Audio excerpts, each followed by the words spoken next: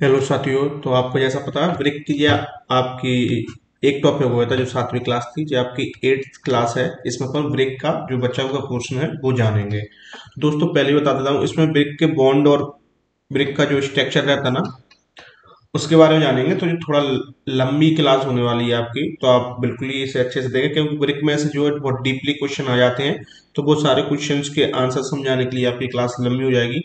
आपको मटेरियल बहुत बड़ा होगा इसका बट आपको जो इंपॉर्टेंट चीज़ें रहेंगी वो बहुत कम रहेंगी। तो मैं आपको समझाता जाऊँगा, वहीं पर मार्क करता जाऊँगा कि आपको किन किन चीज़ों पर विशेष ध्यान देना और बाकी मैं समझाऊँगा सब कुछ, ना?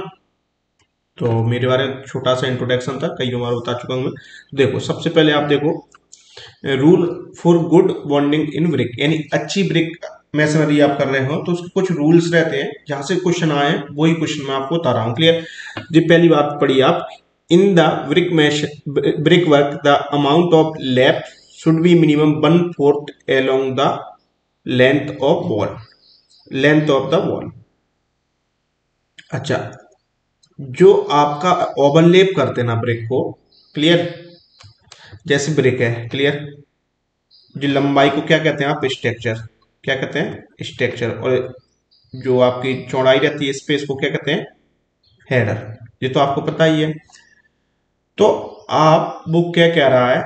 जो ब्रिक वर्क आप करते हैं तो उसमें जो ओवरलेप आप करते हैं तो लंबाई में minimum one fourth of the bricks करना चाहिए। देखो वन फोर्थ ऑफ़ ब्रिक आगे में बताऊँगा ओवरलेप कैसे करते हैं, जैसे इसके ऊपर कोई स्ट्रक्चर चढ़ा रहा है, ऐसे स्ट्रक्चर होना ठीक है? तो जो ओवरलेपिंग कर रहे हैं एक दूसरे पर तो वन फोर्थ अगर लंबाई में आप देखें तो लंबाई में कितनी होनी चाहिए? टोटल ब्रिक की वन फोर्थ ओवरलेप होना चाहिए। और चौड़ाई में अगर देखें, देख रहा देखो, अगला क्वेश्चन है। अगला पॉइंट है the amount of lap should be one half यानी one two one by two of brick across the thickness of the wall यानी लेंथ में आप देखेंगे तो आपका ओवरलेप जब कर रहे हो लेंथ में तो कितना चाहिए? वन फोर्थ चाहिए। और अगर आप थिकनेस में ओवरलेप कर रहे हो तो one two one by two यानी कि हाफ़ चाहिए। क्लियर तो दोनों ही पॉइंट आपके क्वेश्चन आ चुके हैं एग्ज़ाम में। तो इन दोनों को ही जब मैं स्टार बना दूँ, समझ लेना, उसको आपको पढ़ना। क्लियर पीडीएफ में प्रोवाइड करा दूँगा टेलीग्राम पे या फिर आपको लिंक डाल दूँगा। कहीं से भी आप पीडीएफ आपके पास वाली पहुँच जाए clear we should use uniform bricks in the brick work so we can easily get the जो सिंपल सी यूनिफॉर्म होना चाहिए, कोई दिक्कत नहीं है। बाकी आगे चीज़ें नॉर्मल है क्लियर जहाँ से क्वेश्चन आ रहा था वो मैंने आपको बता दिया। आगे चलते ब्रिक मैसनरी क्लियर तो ब्रिक मैसनरी कितनी होती है? स्ट्रक्चर हेडर क्लोजर चीज़ें आप समझ लीजिए पहले। स्ट्रक्चर क्या रहता है? Longest face of the brick termed structure clear तो आपको पता है जो लंबा वाला फेस जो रहता है, जो दिख रहा है, जैसे कि आपको जो क्या होगा स्ट्रक्चर क्लियर और shorted face shorter face of the brick term that header जो वही बात है जो मैंने आपको बता दी थी। अच्छा क्लोजर क्या रहता है? The portion brick cut cut along its length termed closer यानी लेंथ ब्रिक की जो लेंथ है, इसमें कोई भी पोर्सन आप काट दोगे लेंथ के अलोंग लेंथ के अलोंग तो ऐसे कटेगा ना, जो लेंथ है ओके इसके अलोंग आप काट दोगे तो उसे क्या बोलेंगे? क्लोजर और अच्छे से मैं आगे इसे समझा देता हूँ क्लियर अच्छा क्लोजर कितने प्रकार कहते हैं? किन क्लोजर रहता है। देखो किन क्लोजर हाफ़ में जे है आपका, और क्वार्टर में जे है क्लियर इसकी डेफिनेशन अच्छे से बता देता हूँ मैं।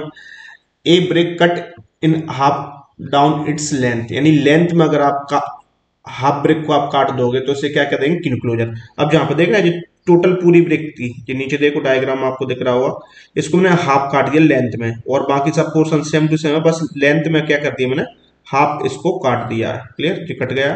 तो उसे क्या बोल देंगे किन क्लोजर ये देखो, इधर आपको अच्छे से डायग्राम खोज कर मैंने आपको लगा दिए। ये देखो हाफ़ ब्रेक्स लगी है लेंथ में तो इसे बोलेंगे क्यून क्लोजर तो दोस्तों, आपको जो डायग्राम में याद रखना चाहिए डेफिनेशन आपकी इसको चार तरीके से घुमा के पूछ सकता है। एक तो ऐसे ही बोल देगा कि ब्रेक है, उसको आधी लेंथ से काट दिया, उसे क्या बोलेंगे? तो सिंपल एक क्लोजर बोल देंगे। एक और क्या बोलेगा? एक ब्रेक है, उसकी बाकी सभी चीज़ें सेम है बट लेंथ में से क्या काट दिया? हाफ़ काट दिया। तो उसे क्या बोलेंगे? इंक्लूजर क्लियर तो आपको अगर डायग्राम अच्छे से आप दिमाग में लगा लोगे इंक्लूजर का जो है तो आपका आसानी से आंसर मिल जाएगा। नेक्स्ट है किंग क्लोजर बॉल्ट क्लोजर तो किन क्लोजर में क्या रहता है? देखो, एक ब्रेक रहती है, उसकी आधी लंबाई एक कौन, एक पेज पर आधी लंबाई और एक पेज पर आधी चौड़ाई। वहाँ से आप काट दोगे जो वाला पोर्शन तो आपको क्या हो जाएगा? वो किंग क्लोजर आपकी बन जाएगी। बॉल्ट क्लोजर में क्या रहता है? आप देखो, दूसरे पेज की क्या? टोटल चौड़ाई ले लेंगे और एक पेज की क्या? आधी चौड़ाई ले लेंगे। जहाँ से आप काट दोगे तो क्या हो जाएगा आपका? बाकी का पोर्शन बचा हुआ बॉल्ट क्लोजर इसकी डेफिनेशन भी पढ़ लीजिए क्लोजर क्या रहता है। A brick cut a corner and join the middle points of the brick and length यानी एक ब्रिक थी, देखो, इसका, देखो, ये एक पूरी ब्रिक है। माने चलो, जो ब्रिक है।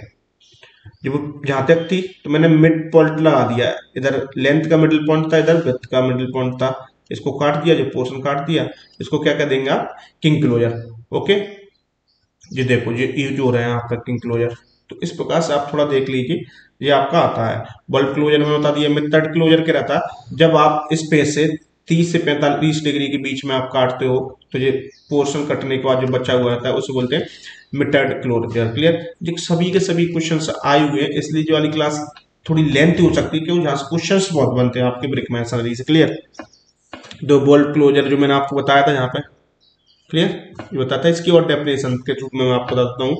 In this brick the structure face is bold in such a way that one and half with and another and full with is maintains यानी कि एक जो आपका एंड है, उसको हाफ़ विथ कर दिया और एक को फुल विथ कर दिया। काट दो वर्ल्ड क्लोजर बन गया। तो इनको थोड़ा सा प्लीज़ ध्यान रखिए क्यों यहाँ से क्वेश्चंस बनते हैं। जब मैं आपको एमसीक्यू कुछ कराऊँगा तो आपको देखना पड़ेगा।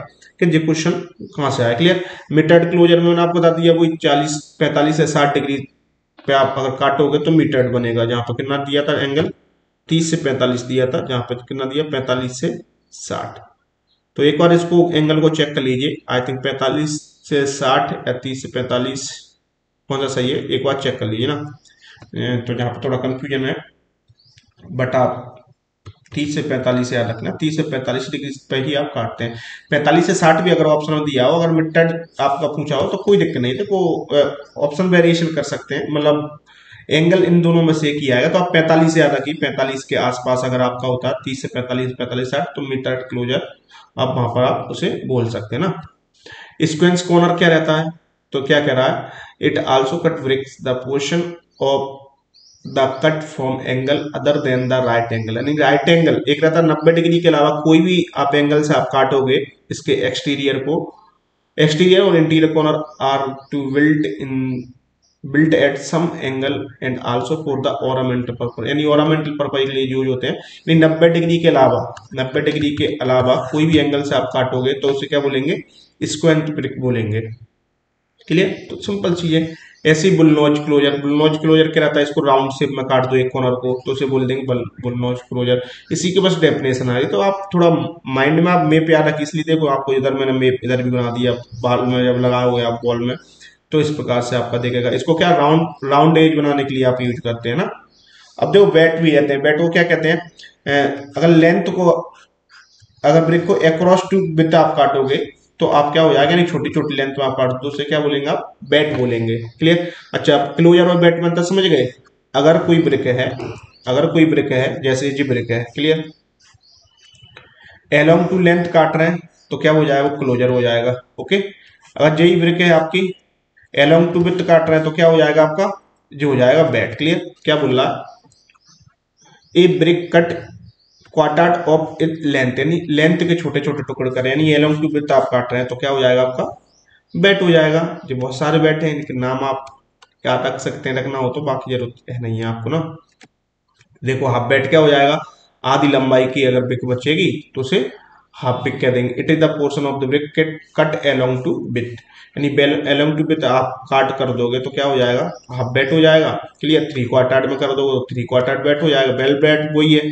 भैया जो थोड़ा टेढ़ा टाइप का काटोगे आपको बताया था बेल्ट की definition clear three quarter belt का क्या रहता? है भैया थ्री क्वार्टर यानी एक ए, एक तिहाई भाग आप काट दो बाकी दो तिहाई भाग आपका बचा रहेगा। थ्री क्वार्टर बच जाएगा। देखो a brick cut into three quarter its length and laid with its long narrow side expose तो कोई चीज़ है आपको रटना रट्टा कहीं नहीं मानना आपको समझना। देखो अब जो ब्रेक लगी है तो इसमें क्या है?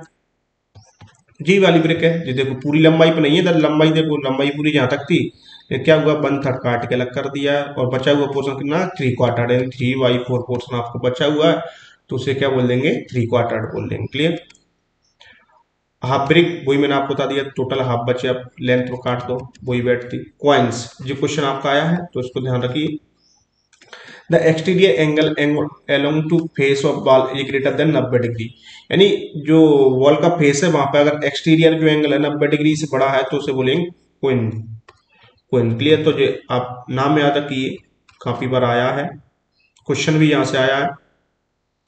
तो इसको आप याद रखिए। छोटी छोटी चीज़ें देखो आपको रट्टा नहीं मानना आपको चीज़ों को समझना मैं आपसे बोल रहा हूँ इतना सारा मैं आपको पढ़ाऊँगा उसमें से आपको कुछ ही पॉइंट्स आपको नोट करने कुछ ही पॉइंट आपको दे, देखने ध्यान रखने हैं। मैंने पहले ही बोल दिया था ये वीडियो आपकी लंबी हो जाएगी। तो आप इस वीडियो में थोड़ा शब्द रखिए, ठीक है? अब देखो जो इंपोर्टेंट चीज़ क्या types of bond in masonry wall. इन कौन कौन से बॉन्ड रहते हैं? तो स्ट्रक्चर बॉन्ड रहते हैं हेडर रहते हैं इंग्लिश बॉन्ड रहते हैं फ्लेमिश बॉन्ड रहते हैं। इतने आपने पढ़े होंगे। इसके अलावा और रहते हैं गार्डन बॉल बॉन्ड रहते हैं रैंकिंग बॉन्ड रहते हैं डच बॉन्ड रहते हैं। जहाँ पर ध्यान डच बॉन्ड किससे कहते हैं? ये क्वेश्चन है। अगर आप इंग्लिश बॉन्ड को ही आप सुधार दोगे इंग्लिश बॉन्ड को ही थोड़ा उसमें मॉडिफाइड कर देंगे, उसे क्या बोलेंगे? उसे डच बॉन्ड बोलेंगे क्लियर इंग्लिश बॉन्ड का मॉडिफाइड है डच बॉन्ड ये काफ़ी बार आया है इतना? Clear brick on edge bond brick English cross bond facing bond clear तो जो सब चीज़ें हैं तो इनमें से जो इंपोर्टेंट चीज़ है, वो मैं आपको बता देता हूँ ना। थोड़ा लंबा होने वाला वीडियो इनमें बहुत ज़्यादा अंदर अंदर की गहराई तक मैंने चीज़ें डाली हैं बट आपको जो इम्पोर्टेंट चीज़ें होंगी, वहाँ पे स्टार आपको मिला मिल जाएगा स्टार लगा हुआ आपको मिल जाएगा तो आपको वही चीज़ जो है नोट करनी है ना। स्ट्रक्चर बॉन्ड क्या करा? In the construction of the wall we are arrange all bricks in such manner that only structure तो सिंपल सा मैं आपको समझाता हूँ स्ट्रक्चर बॉन्ड क्या है? यदि सभी के सभी ब्रिक ब्रिक जो है ओनली स्ट्रक्चर में हो, लो भाई साहब, जो सभी ब्रिक दिख रही है ओनली स्ट्रक्चर में ही है तो उसे क्या हो जाएगा? स्ट्रक्चर बॉन्ड हो जाएगा क्लियर तो इसमें क्या इजिएस्ट बॉन्ड सबसे इजिएस्ट है मिनिमाइज है तो पर कोई ब्रिक नहीं नाउ कॉल्ड हाफ़ ब्रिक्स इसको क्या हाफ़ ब्रेक्स वॉल भी बोलते हैं ना? आप देखो ना, इसकी लेंथ कितनी है? हाफ़ ब्रेक की है टोटल ब्रेक की लेंथ इतनी रहती है तो हाफ़ ब्रेक वॉल इसको क्या बनाते हैं? स्ट्रक्चर बॉन्ड को बनाते हैं। बाकी इसमें कुछ इंपोर्टेंट आपका है नहीं है, बस इसको हाफ़ ब्रेक वॉल भी कहते हैं क्लियर अच्छा क्या लिखा है? Main function of the structure bond provide good bonding between the bricks basically structure bond are suitable for one brick portion wall clear structure bond हो गई आपकी क्लियर अब हेडर बॉन्ड हेडर बॉन्ड क्या है? जिसमें सभी जो पोर्शन है, सभी बॉल के पोर्शन है, वो हेडर में लगी हो। सभी ब्रिक जो हेडर लगी हो। When be arrange all bricks in header यानी विथ विद के। Course then types of the bond known as header bond तो इनमें तो कोई दिक्कत नहीं है। स्ट्रक्चर में स्ट्रक्चर स्ट्रक्चर और हेडर में हेडर हेडर क्लियर अब देखो, ये हेडर बॉन्ड है। सभी ब्रिक्स क्या है? हेडर में तो आप देखो, ये वाले पोर्शन को स्ट्रक्चर कहते हैं, इस पोर्शन को हेडर कहते हैं। तो इसमें जितने भी अरेंजमेंट है, सब किसमें दिख रहे हैं? हेडर में दिख रहे हैं क्लियर अच्छा header bond in brick suitable for the curve surface यानी कर्व सरफेस आप बनाओगे, तब कौन सी बॉन्ड यूज़ होगी? हेडर बॉन्ड यूज़ होगी। The construction wall of full thickness यानी फुल थिकनेस में अगर आप कर्व सरफेस बना रहे हो तो क्या होगी आपकी? हेडर बॉन्ड यूज़ होगी। Header bond are not suitable for the load bearing wall because they types uh, this types one do not have any strength to transmit the pressure यानी uh, जो हेडर बॉन्ड रहती है वो load लेने के लिए ज़्यादा यूज़ नहीं होती क्योंकि ये लोड को ट्रांसमिट ही नहीं कर पाती है अच्छे तरीके से। तो इसमें जाना कोई इंपॉर्टेंट नहीं है बाकी आप इतना ध्यान रखते हो कट सरफेस बनाने के लिए हेडर बॉन्ड आप यूज़ कर सकते हो ना।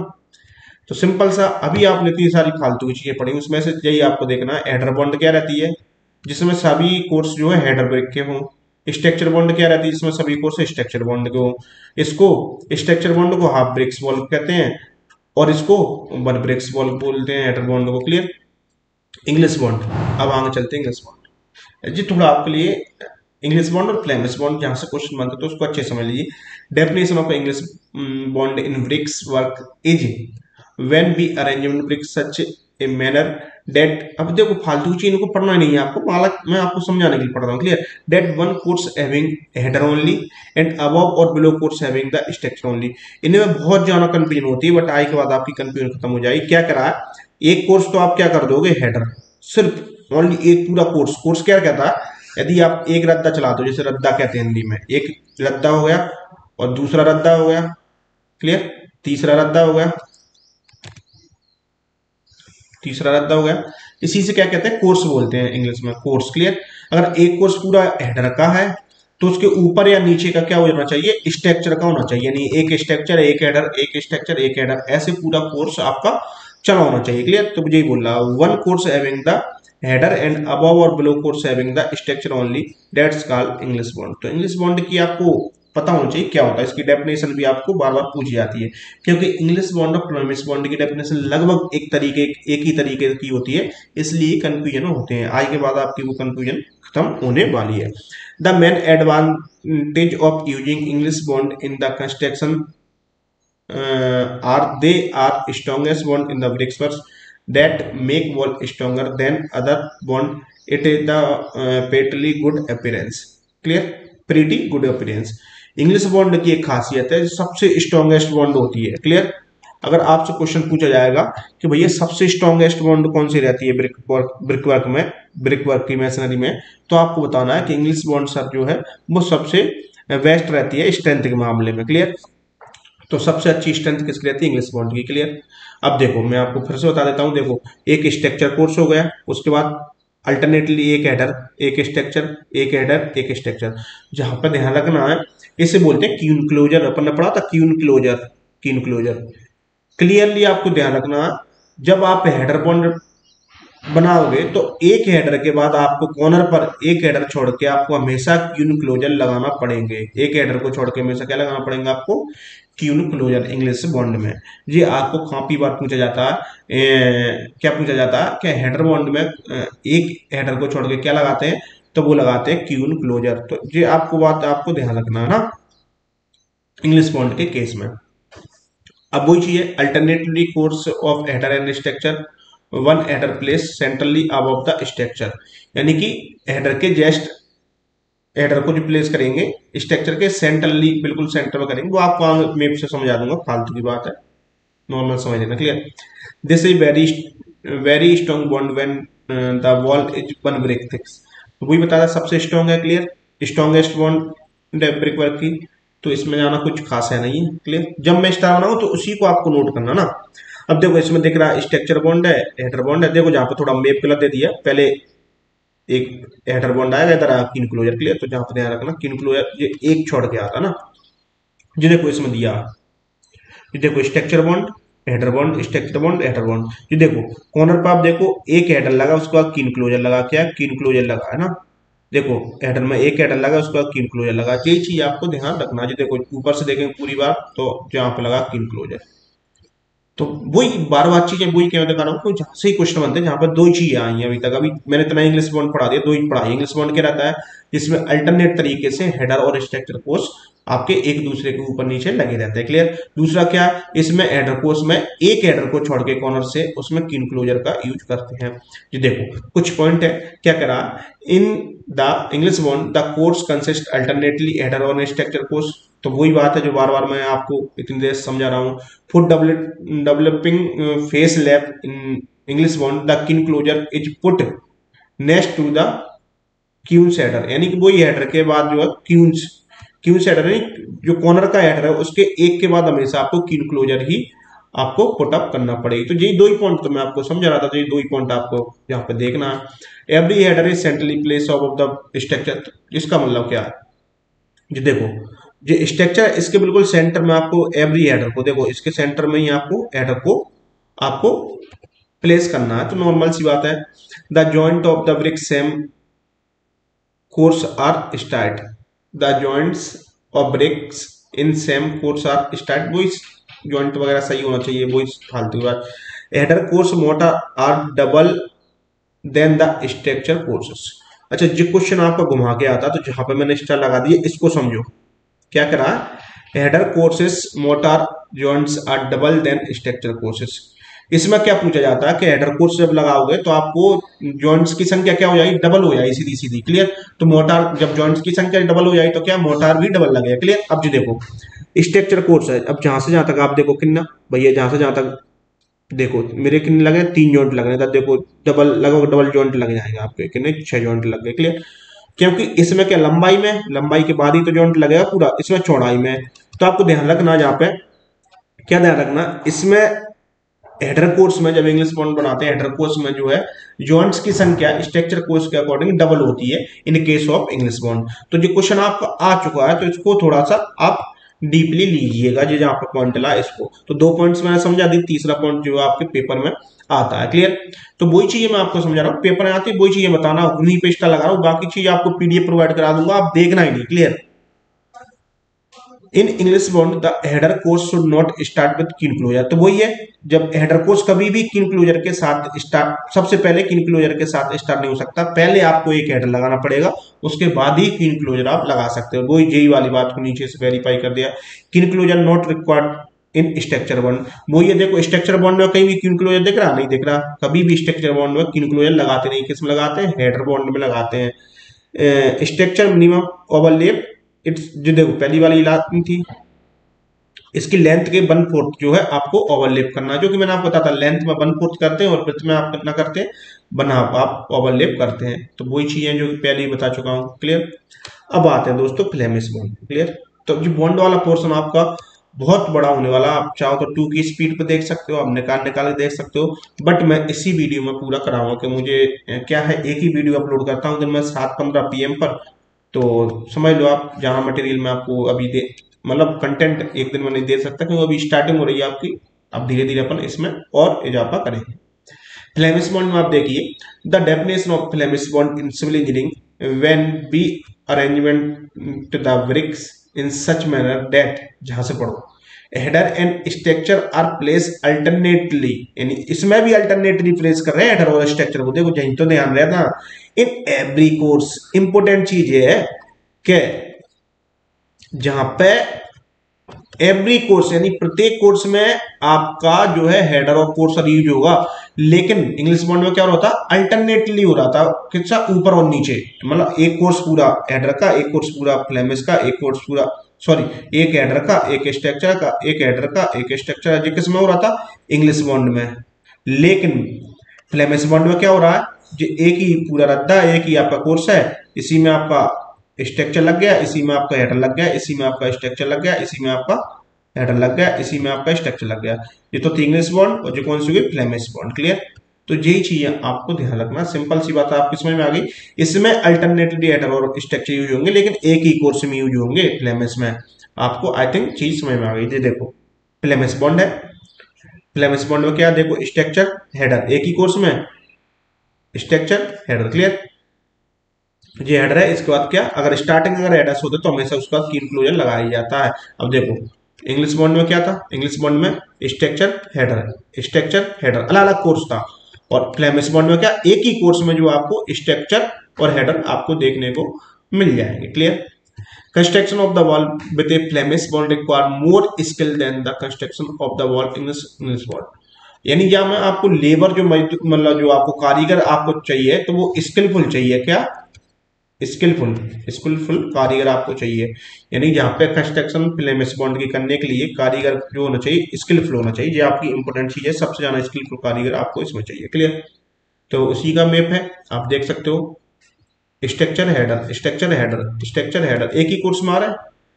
क्लियर जो आप थ्री डायग्राम देख सकते हो। तो सब चीज़ें मैंने आपके लिए अवेलेबल करा दी है। जिससे कि आपको बिल्कुल भी परेशानी नहीं हुआ करे, क्योंकि इसको बनाने में बहुत टाइम लगता है, चीज़ों को अरेंज करने में, हर चीज़ को इधर उधर देखने में।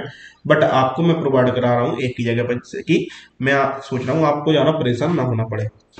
Alternate bricks are place as a header and structure in every course वही चीज़ है तो एक बार कहीं भी पढ़ लो आप इसे। Each header placed centrally between the structure immediately वही है। This is not strong strong नहीं रहती स्ट्रॉन्ग कौन सी रहती इंग्लिश बॉन्डी रहती है। Can be successfully applied in cavity wall ध्यान रखना। जी, आपको ध्यान रखना क्वेश्चन आ चुका है। कैविटी बॉल में कौन सी बॉन्ड स्ट्रक्चर यूज़ होती है? कौन सी बॉन्ड यूज़ होती है?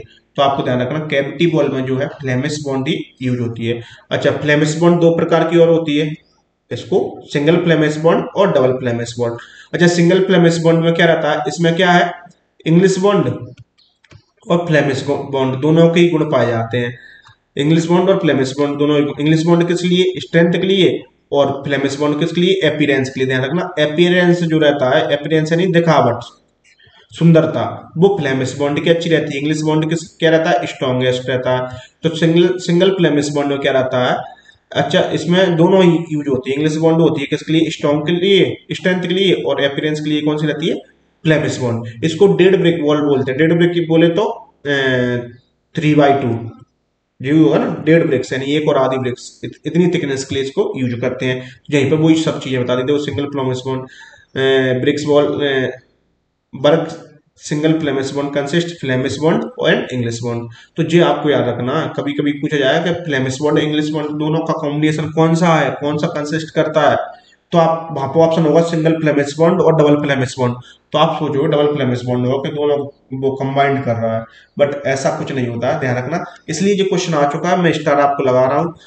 इसलिए मैं डीपली क्यों जा रहा हूँ? मुझे क्या ज़रूरी पड़ रही इन चीज़ों को डीपली पढ़ाने की? क्यों? जहाँ से क्वेश्चंस बने हैं। मैंने बहुत सारे एग्ज़ाम दिए, बहुत सारे एग्ज़ाम निकाले हैं और बहुत सारे क्वेश्चन पेपर लगाए। उसके बाद मुझे इतना आइडिया हो गया, कहाँ से क्वेश्चन बनते, कहाँ से नहीं बनते। वो क्यों? वो चीज़ें वहाँ पर मैंने क्वेश्चन में देखी, वो चीज़ें मैं जहाँ पे आपको बता देता हूँ। तो आपको बहुत ईजी हो जाएगा क्योंकि मेरा बहुत सारा एक्सपीरियंस आपके काम आ रहा है यहाँ पे।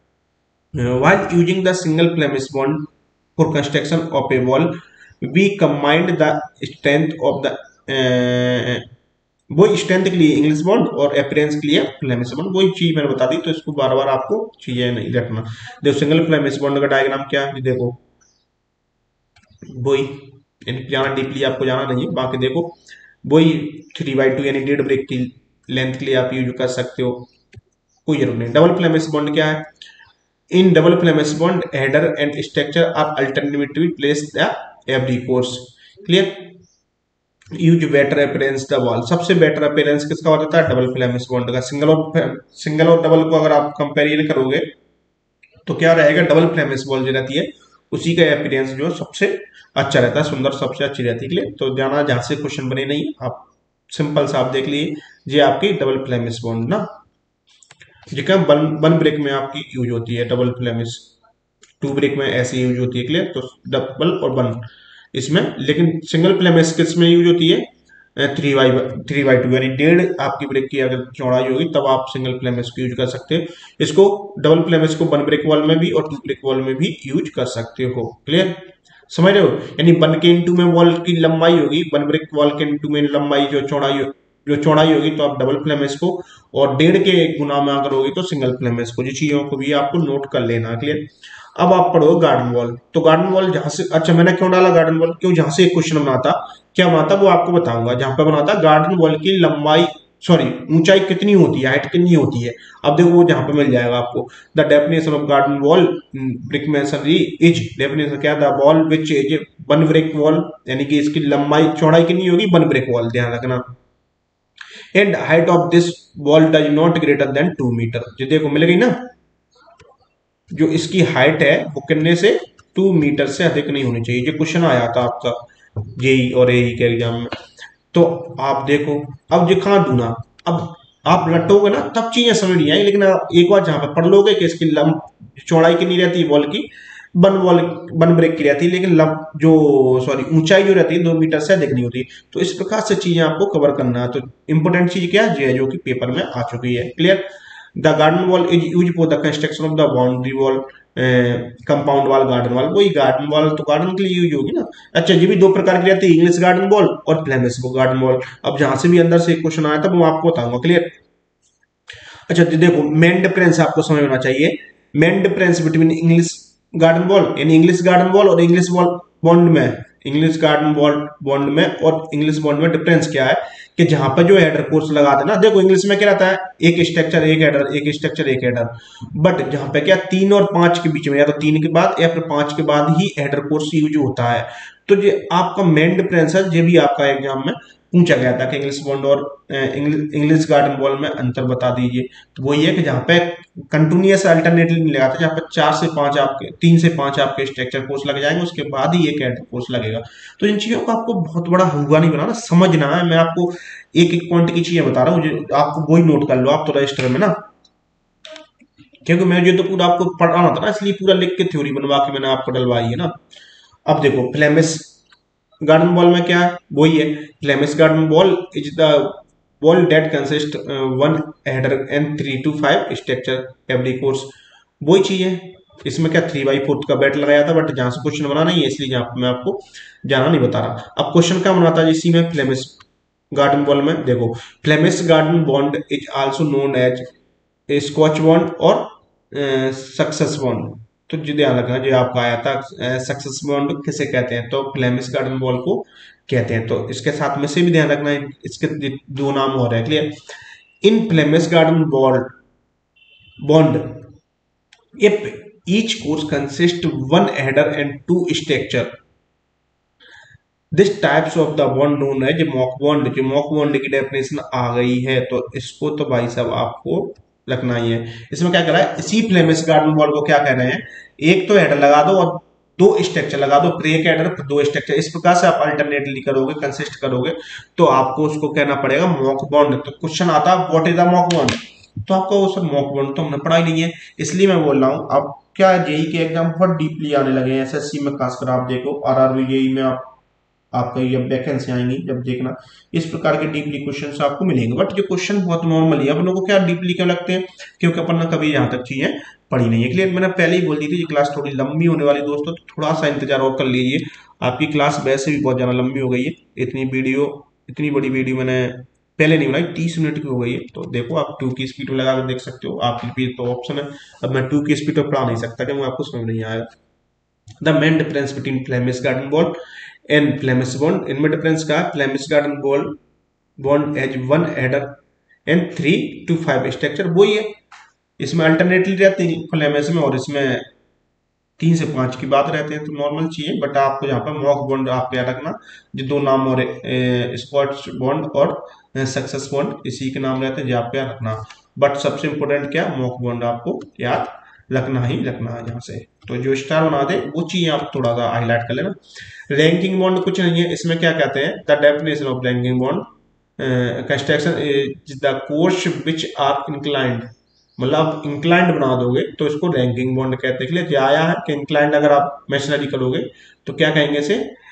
इसको बोलेंगे रैंकिंग बॉन्ड बाकी और बहुत सारी चीज़ है तो वो आपकी आई नहीं है। इसको भी तीन प्रकार से कह सकते हैं diagonal bond herringbone bond band zigzag bond तो इनको आप नाम अगर वैसे ही एक बार पढ़ना हो तो पढ़ लेना, बाकी का काम करेंगे what is the Dutch bond Dutch bond आप देखो डच बॉन्ड क्या रहती है? अच्छा वो मोंग बॉन्ड थी, देखो यहाँ पर। यही मैं कह रहा हूँ, वो मोंग बॉन्ड थी यहाँ पे, जो आई थी पेपर में। उसके बाद इसको मैं बता देता हूँ, ये अलग से बॉन्ड है। Dutch bond in brick masonry is modified of English bond जो मैंने स्टार्टिंग में आपको बताया था, ये क्वेश्चन आया है। तो देखो कितनी सारी बॉन्ड हो रही है और आपके नाम पहली पहली, कोई कोई तो ऐसा होगा जिसने पहली बार नाम सुने होंगे। मैं भी सच बताऊँ, मैंने भी पहली बार नाम कब सुने? जब पेपर में गया था, मैंने बताया था मैंने इतने सारे पेपर निकाले, उससे पहले कई सारे पेपर में फैल हुआ हूँ। तो ऐसा नहीं है, हर एक पेपर निकल जाते, बहुत सारे पेपर में फैल भी होते हैं मैं भी हुआ हूँ। तो जब ऐसा कोई मैं देखता हूँ, जैसे डच बॉन्ड कहाँ पर समझ में नहीं आता ये डच बॉन्ड कहाँ से आया? कौन से ग्रह से आया बट वहाँ पर जाके जब मैं लौट के आता हूँ तो ढूंढता हूँ। तब मुझे पता पड़ता है डच बॉन्ड तो सिंपल थी। इंग्लिश बॉन्ड कोई मॉडिफाई कर दो तो उसी को क्या बोलते हैं? डच बॉन्ड आप बोलते हैं clear the main use of Dutch bond is increase the strength इसमें क्या? स्ट्रेंथ को इंक्रीज कर देते हैं। बॉल एट द कॉर्नर कहाँ पे? कॉर्नर पर। ना? ये दो ही चीज़ यहाँ पे आपको याद रखना है, बाकी कुछ नहीं है। ना? ये देखो डच बॉन्ड का आपका वो है। तो इंग्लिश बॉन्ड वही है, जो तो वही वाली चीज़ है जो मैं आपको समझा दूँ फ्लेमिस बॉन्ड में ही आपको समझा दी स्टिक्स बॉन्ड हेडर अच्छा ये चीज़ आप देख लीजिए। एक बार कंपेरिजन कर लीजिए क्योंकि सबसे इंपॉर्टेंट जो है इंग्लिश बॉन्ड और फ्लेमिस बॉन्ड है, इसको कंपेरिजन कर लीजिए।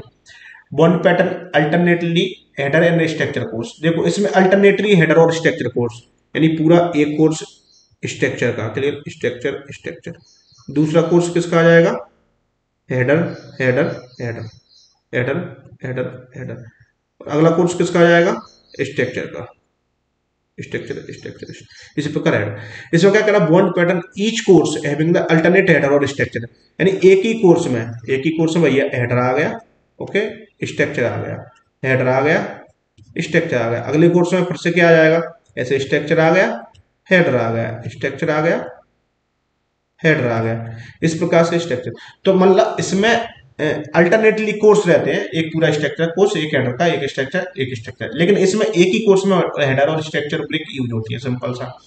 More strength giving for brick which thickness greater than one और हाफ़ ब्रिक्स यानी कि इसकी स्ट्रेंथ आत्मिक होती है और इसकी स्ट्रेंथ जो है कम होती है कंपेक्ट कंपेयर करोगे आप इंग्लिश बॉन्ड से तो।